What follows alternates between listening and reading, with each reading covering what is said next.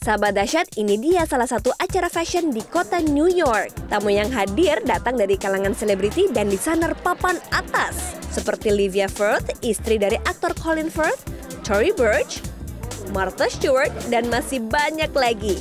Yang spesial kali ini ada Cita Tenun Indonesia. Halo sahabat dahsyat, apa kabar? Salam terhangat dan terdahsyat untuk seluruh keluarga di Indonesia. Aduh, saya sedang berada di sebuah acara yang cukup bergengsi banget, sebuah red carpet dan ada tenun di sini. Nggak percaya lihat dong, ibu-ibu cantik di belakang saya pada pakai tenun. Apa kabar? Bisa maju sedikit biar kelihatan dong semuanya. Aduh, apa rasanya sih bisa mengenakan tenun di Amerika? Merupakan satu kebanggaan tersendiri bisa membawa uh, hasil karya anak bangsa ke dunia internasional. Yap, benar banget. Bangga rasanya bisa melihat karya asli tanah air dikagumi oleh insan fashion Amerika dan dunia. Bukan hanya kain tenun yang ditampilkan, alat tenun pun didatangkan langsung dari Indonesia. Apa kata mereka saat ditanya mengenai tenun?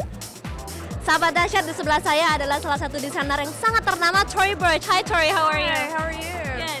I think the workmanship is so exquisite, the colors, the embroideries, there's so much detail, and that's what I love.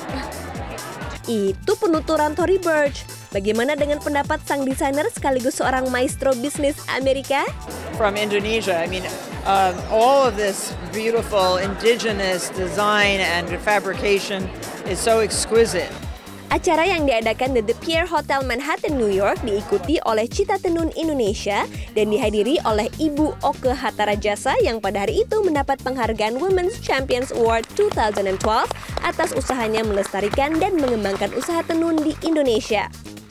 Ini bukan kerja saya, tapi kerja uh, penenun Indonesia khususnya. Bagaimana dia sudah berjuang untuk mempertahankan uh, warisan budaya yang mereka miliki.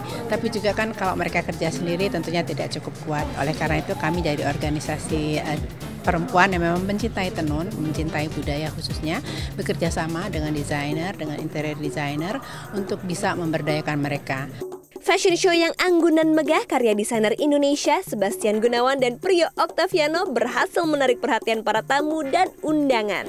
Ih, sahabat dahsyat senang banget ya tadi melihat model-model internasional berlenggak-lenggok di atas runway ini mengenakan tenun asli dari Indonesia. Uh, bangga banget rasanya. Oke, sekian dulu liputan dari VOA kali ini. Saya Bibit Kaving diri sekarang kembali lagi ke studio dahsyat di RCTI.